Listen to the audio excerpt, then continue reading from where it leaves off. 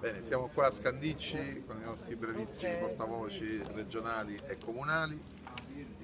Sembra scongiurato lo sfratto della famiglia Tallarico, eh, cercheremo di far prevalere le ragioni del diritto eh, nei confronti delle ragioni della forza. Non è possibile che vengano compiuti altri soprusi nei confronti dei cittadini. Ringrazio soprattutto gli attivisti locali e i nostri portavoce che si sono battuti perché si arrivasse a questo. Io ho fatto soltanto l'ultimo tratto di strada con loro, ma la strada l'hanno aperta loro con le loro battaglie. Grazie a te Mario della, della tua presenza. Questo serve ad alzare il livello di attenzione che da, appunto, da un piccolo comune italiano come quello di Scandicci arriva a conoscenza di tutta la regione e di tutta la nazione perché sembra essere questo un, uh, uno stesso sistema che viene adottato, un operandi esatto, che viene uh, usato ed operato da diverse cooperative, da diverse eh, come dire, associazioni, chiamiamole così, a che scopo ancora lo dobbiamo stabilire. Ma sembra economico, no? Sì, eh. diciamo, io intendevo un altro tipo di associazione a scopo, come dire, meno nobile e, e questo chiaramente è, ripeto, un sistema che viene adottato in tante parti della regione purtroppo, ma sembra che sia anche adottato anche fuori regione. In tutte, le, in tutte le parti d'Italia. Lo diciamo chiaro, per estorcere ai cittadini denaro, denaro non non dovuto. Noi lo diciamo ai cittadini, non siete più soli, ci sono i nostri portavoce regionali, comunali, nazionali, sono, siamo i vostri portavoce, rivolgetevi al movimento, non sarete soli nelle vostre battaglie, ribellatevi.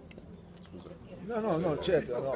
La, la, la veemenza che è sempre positiva del nostro senatore che ho il piacere, l'onore di avere sempre più a fianco, quando poi scopriamo che alla fine veniamo tutti da questa meravigliosa isola che è la Sicilia, perché nonno, nonno Eugenio di Porto Empedocle, parlo di Eugenio Cantone, alla fine scopriamo e che a poi... Porto Empedocle i cittadini che... stanno capeggiando una rivolta popolare incredibile con la nostra Ida Carmina che è bravissima, la candidata sindaco quasi il 40% al primo turno, che è incredibile, là sono muti big eh, per quella campagna elettorale. Stiamo, stiamo, parlando chiaramente delle ultime amministrative e abbiamo anche lì l'esempio di un attivismo così, così eh, valido, così attivo appunto come quello che è qui a Scandici, come quello dei nostri, dei nostri amici, cito dei nomi a caso, da Nicola a Marco, a Jessica, a Gabriele, sono qui che stanno, che stanno facendo sì che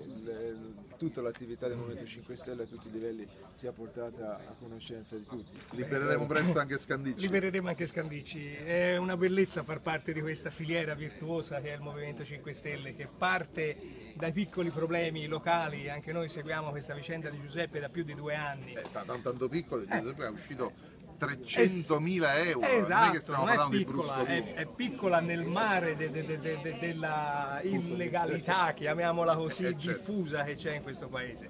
Ed è un piacere che da consiglieri comunali si sia attivato il Consiglio regionale, si sia attivato i nostri portavoce eh, in Parlamento. Questa è la filiera 5 Stelle. Come, eh, le, le ultime amministrative hanno dimostrato che c'è diciamo, l'ondata sta salendo, la, la, la marea sta salendo e questa è una cosa molto bella un invito a tutti i cittadini, non sentiatevi soli, non sentiatevi abbandonati, il movimento è i cittadini, sono i cittadini, quindi rivolgetevi senza indugio quando ci sono problemi, segnalateli.